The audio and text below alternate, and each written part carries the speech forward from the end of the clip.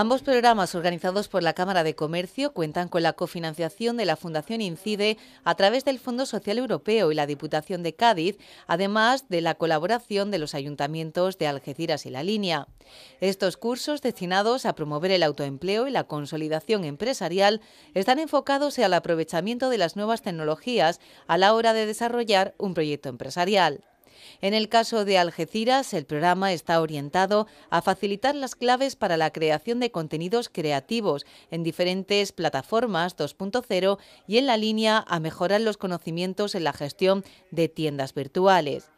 Estos dos programas formativos se van a desarrollar a lo largo de las seis próximas semanas, distribuyendo las 240 horas lectivas de cada uno de ellos entre sesiones de formación grupal y tutorías individualizadas centradas en cada proyecto empresarial.